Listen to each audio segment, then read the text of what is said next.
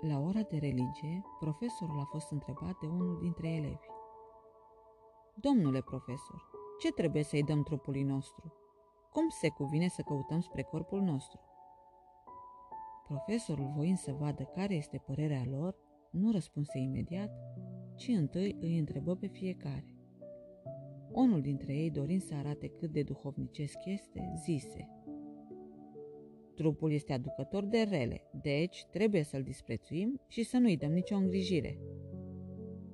Nu, nu este drept ce spui, zise profesorul.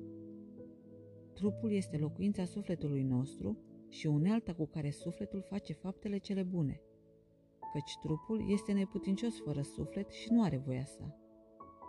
Când se face un bine sau un rău, cele două lucrează împreună.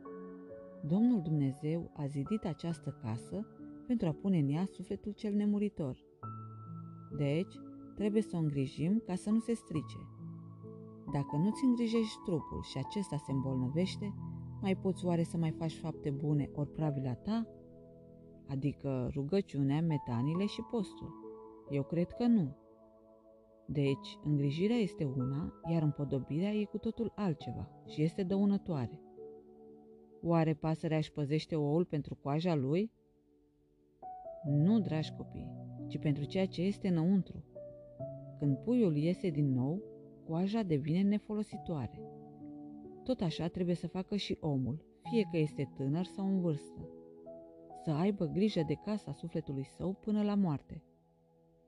Toate însă trebuie făcute cu înțelepciune, după rânduiala bisericii, ca să ne fie spre mântuire.